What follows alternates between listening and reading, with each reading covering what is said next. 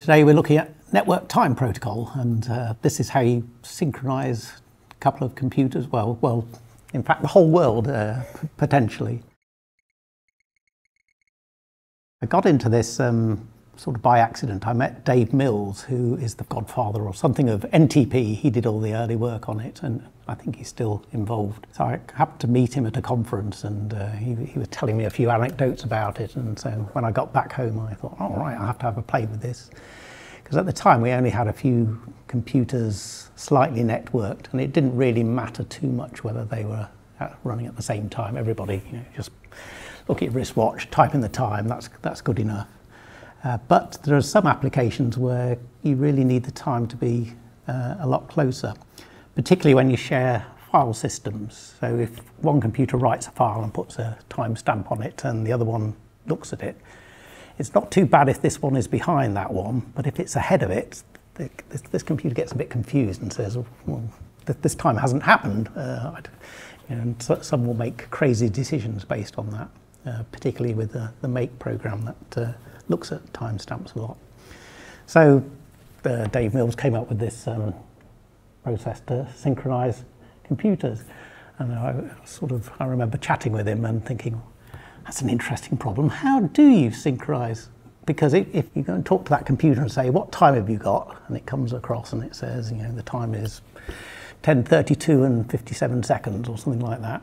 You think, well, is that now or how long has it taken to get from here to there? If I do it again, it may well be different because it may come over quicker or it may come over slower. So um, anyway, that's, that's kind of where we got started with this and uh, so I had a beer with him or something. I, I forget, it was a long time ago. but uh, anyway, so I thought it would be interesting to just to, to show how this, this all works.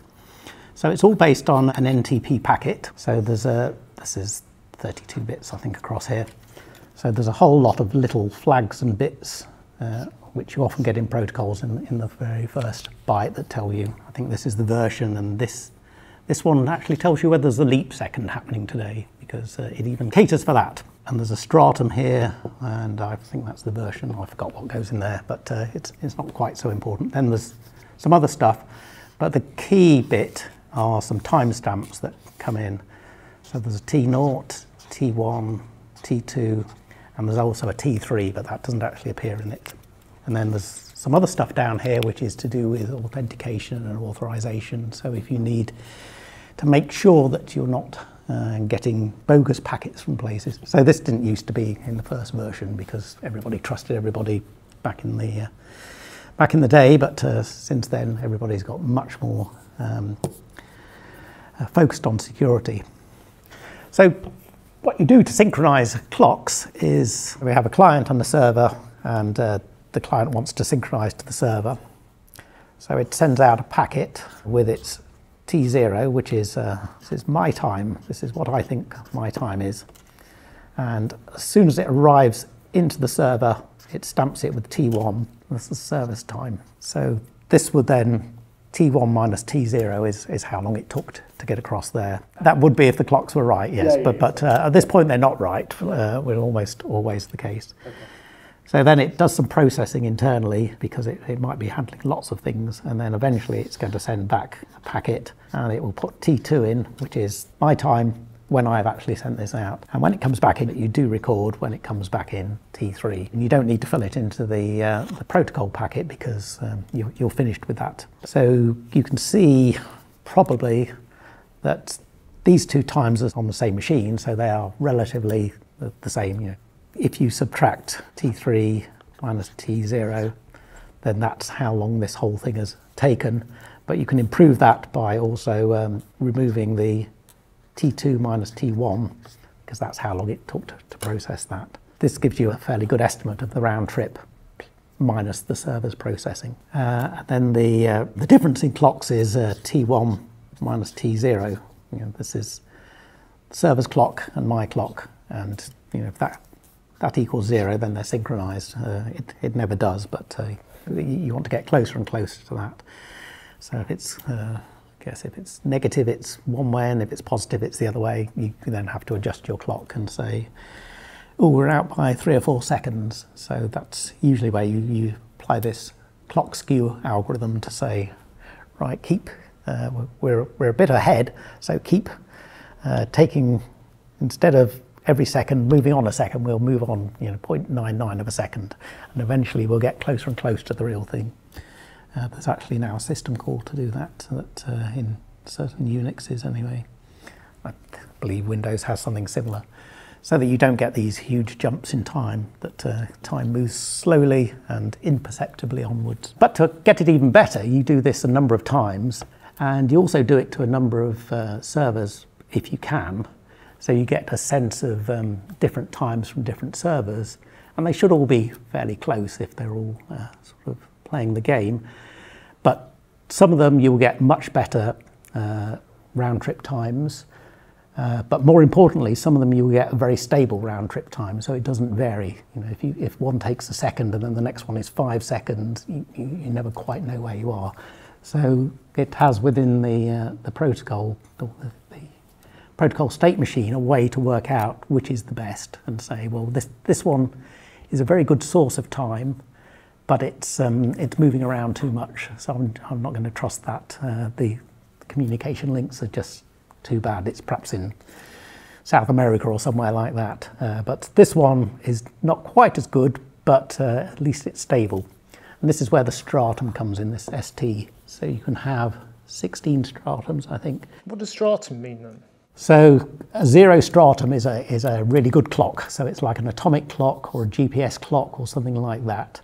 And a Stratum 1 is a computer that's using one of those to synchronize itself. So you never actually talk to a Stratum 0. And a Stratum 2 is something that's synchronized to a Stratum 1 and a Stratum 3 to... So it's kind of hops away from the from, ultimate from the, sources. Yeah.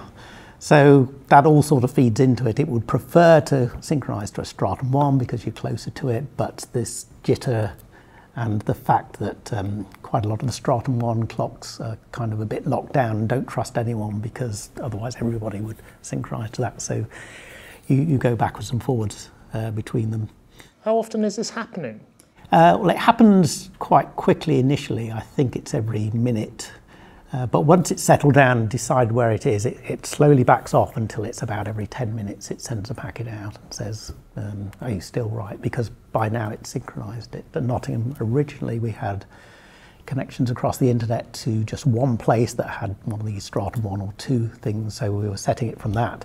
And then we were distributing it all around the department because we only had a very thin wire at that point which was great because you so you could see the stratum 1 come in and we would all be stratum 2 because we were connected to that. But when you mm-hmm. lose that connection, it, it's quite interesting what happens. So each of the computers looks around and says, oh, I've lost that one, but there's a whole load of stratum 2s around here, so I'll synchronize to one of those. And they're all saying, oh yes, there's a, I lost that, but there's a whole load of stratum 2s.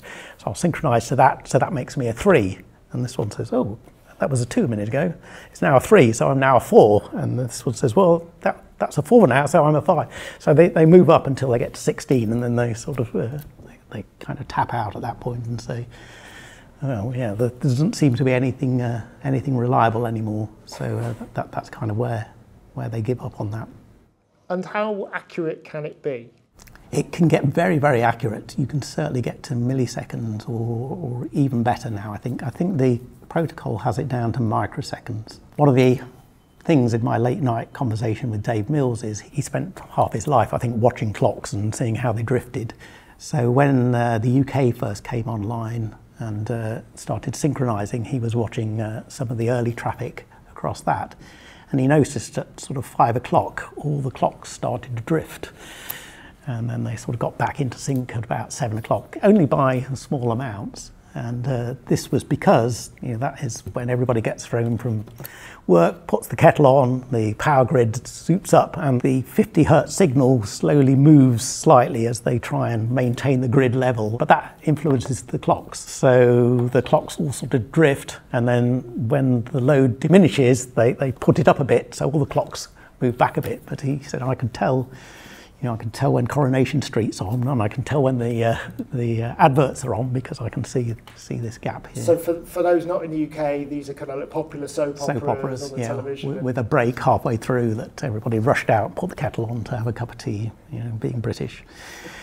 So he could detect that. He reckoned um, in one case, there was an earthquake in um, San Francisco, I think, uh, and he said the clocks went a bit spooky beforehand. I could see them drifting around. I wonder if I've got an earthquake detection device. I don't think he ever followed that up. But uh, there's a few cases like that where he said, you know, I could see strange things happening because I got this high level of precision. Fun for robotics and for problem solving, which is your by choosing the car, 10% of your journeys take you 71 Four minutes. dice. Die A, B, C, and D. And I tell you that die A has a value 4. How much did you learn about the dataset?